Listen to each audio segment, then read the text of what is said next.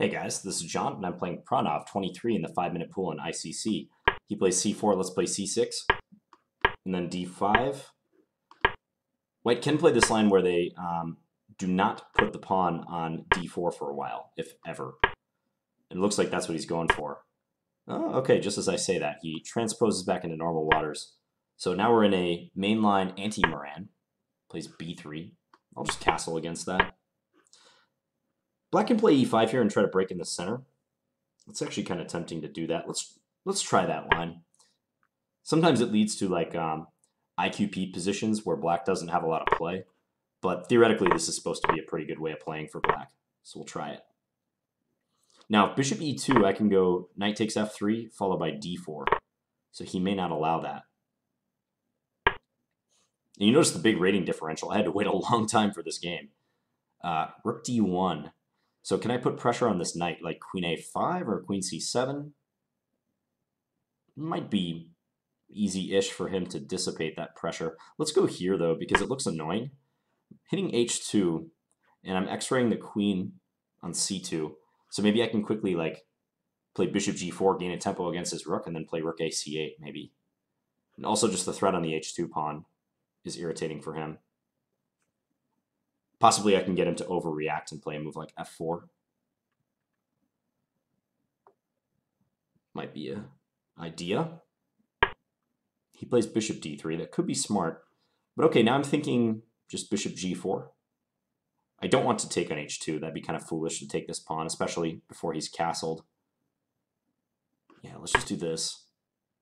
If f3, I can play the bishop back to e6 or play bishop h5 and maybe try to go to g6. Hmm.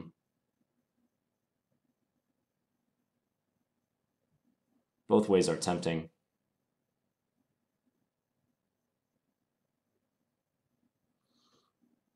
Hmm, hmm, hmm. Okay, let's do bishop e6. Might be a little safer that way. If bishop h5, I was kind of wondering if he could play g4, bishop g6, and then g5. Trying to kick away the knight so as to play knight takes d5. I'm not sure that would work with uh, the bishops opposing each other, actually, but I didn't want to spend time thinking about it. Okay, he plays f4, so this is the move that I said he might be forced to play eventually. Okay, we'll drop that back. He can castle now, though. He has an extremely weak pawn on e3. Let's, let's put our rook on c8 and x-ray his queen. He probably needs to flee with that queen, like queen e2 maybe. Ah, but that runs into bishop g4. Just as I said that. Bishop g4, can he take on d5? Knight takes, queen takes. He's hitting g7. Bishop g4, knight takes d5, bishop takes e2. That's got to be good for us. Let's do it.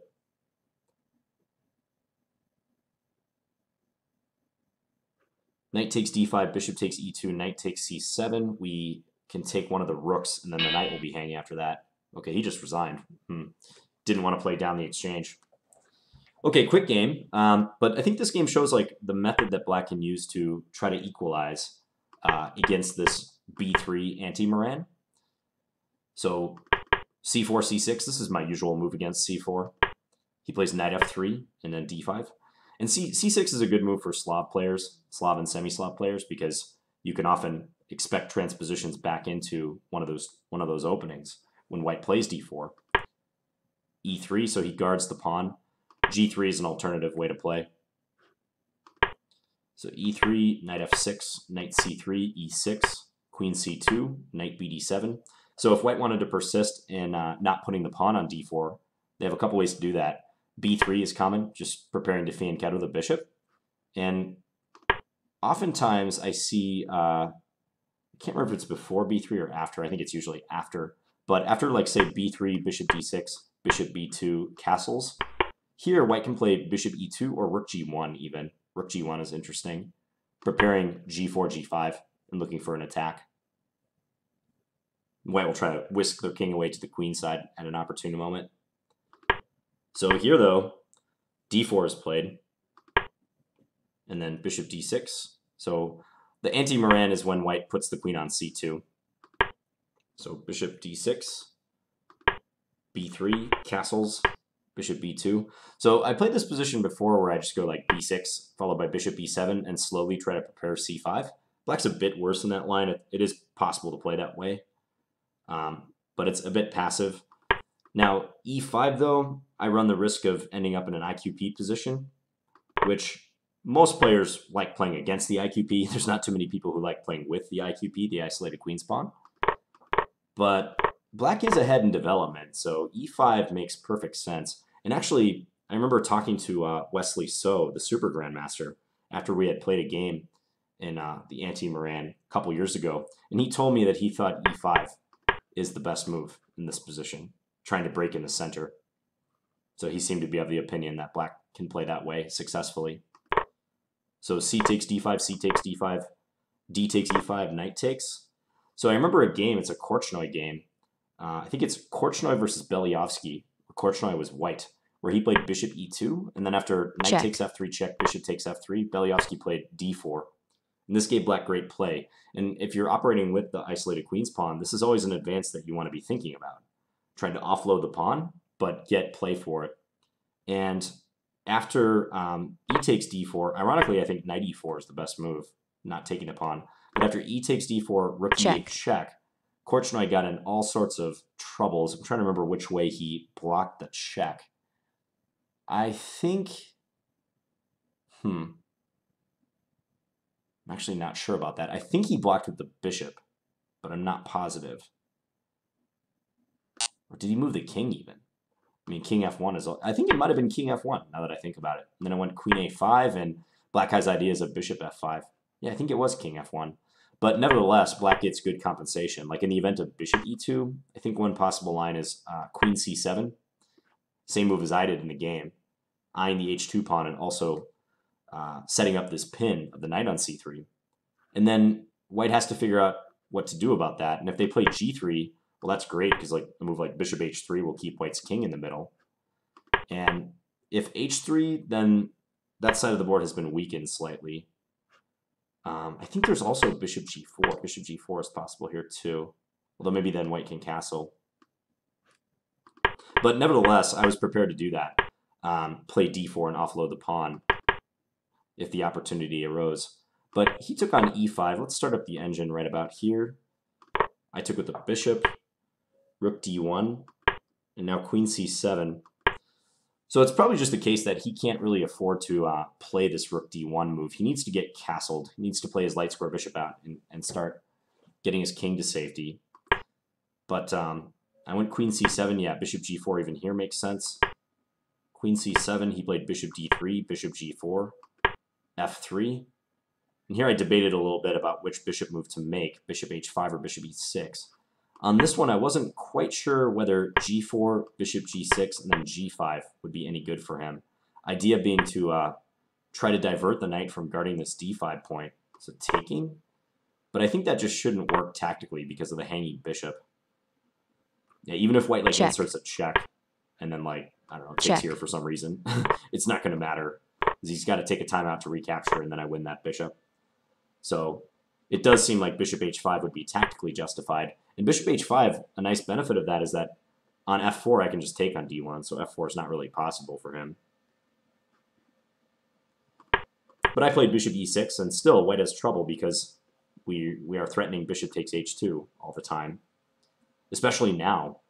Uh, now if I get a free moment, I might do it even before white has castled because my bishop can escape to g3 so easily. There's no pawn on f2. So he played f4. I went bishop d6. He castled. Rook c8. Yeah, now he played a pretty natural move to try to escape the c-file pressure, but it just so happened that it ran into bishop g4. What would have been better? Queen f2 would have been better. Now the dream scenario for white is if they can, I think, get their knight or their bishop to the d4 square.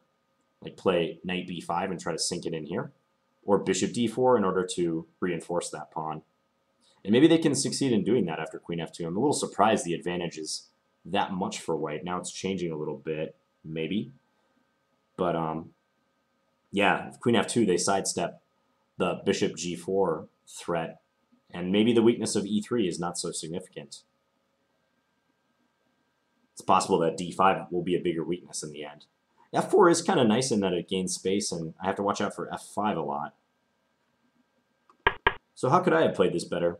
Maybe just bishop c5 or queen b6 right away, not bother with rook a c8, strike while the iron is hot, and attack e3 straight away. Because that way, if if uh, queen f2 now, then knight g4 is possible, forking. And if queen e2, same thing as in the game, bishop g4. So maybe that would have been a little savvier. Likewise, bishop c5. Hmm. But he blundered queen e2 and then bishop g4. I would have played on here if I were white because it's not immediately winning for me or anything. And maybe he will have a chance to stabilize the position if he can get knight b5 to d4 in. In fact, I wonder if he can do that right here. Yeah, he can insert knight b5 before recapturing on d1. So like queen e7. Yeah, he could even take the bishop if he wants, but let's just say hypothetically, like, take here. Okay, well, that might be bad in view of knight g4. Knight takes d6, queen takes d6, rook takes d1. Yeah, white's got two bishops on good diagonals, at least for the moment minus 1.6 is not not a win, certainly not in blitz. So, okay, so to semi-Slav semi players, I could recommend this approach with e5 if you have trouble against these anti-Meran and these Fianchetto lines. Um, and it's good to know that you do have opportunities to offload the d-pawn with counterplay uh, early on. Not always, but uh, it sometimes does work that way. Yeah, and here I think white should probably play bishop e2 instead of uh, taking on e5. I wish I remembered the theory a bit more specifically, but um, it's possible for white to try to stabilize the situation and castle and play against that IQP, but like if we just follow the computer line, knight takes e5, bishop takes, so I guess computer thinks this is okay. I mean, here black could just play d4 if we want. Maybe black can get in d4 in almost any case in this line. Hmm. It's worth investigating. Okay, hope you guys enjoyed this video. I'll be back tomorrow with another Blitz video. Thanks for watching, guys. Bye.